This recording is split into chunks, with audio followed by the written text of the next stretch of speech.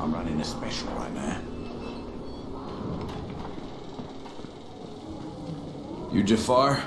Oh, wants to know? My name isn't important. What's important is that Rais sent me, and that you owe him some money. I've never seen you before. For all I know, you're just some random asshole. Fuck off. I'll tell you what. How about I break both your legs and drag you through the streets back to Rais's place, huh? And then he can explain to you that you should have cooperated. Okay, okay. Jesus. You are one of Rais's thugs. You guys are the only ones who'd act this shitty. Here, here's your money. Take it. And if I have to come back here, You won't get any more attitude. Mi casa, su casa. Just don't hurt me, alright?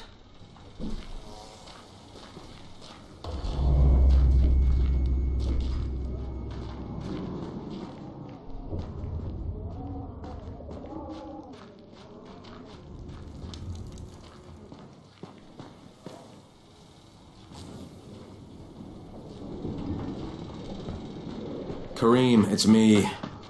So I just threatened to break an old man's legs. And it worked, didn't it? Next, you collect a tribute from the fisherman's village. Head east to the tunnel entrance. Their messenger always meets us there.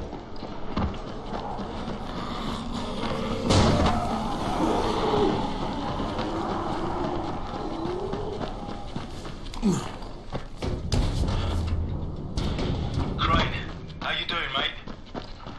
I'm running errands for Rais.